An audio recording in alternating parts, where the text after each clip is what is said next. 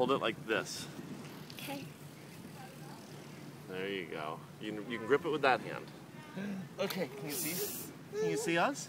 Yeah. So what are we doing today? We are on Coronado Island, and it's the first day that's finally cooled off from summer. What are we doing today, Noah? What are we doing? Are we going to go for lunch? Oh, whoa, Whoa. whoa.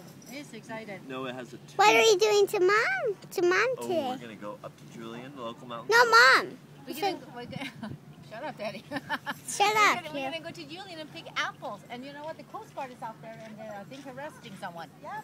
What do you think? Now what did? are we doing today, Daddy? Oh, you put your finger over the lens again. We're going to go have lunch. Looking forward to it. Bye. Let's turn off.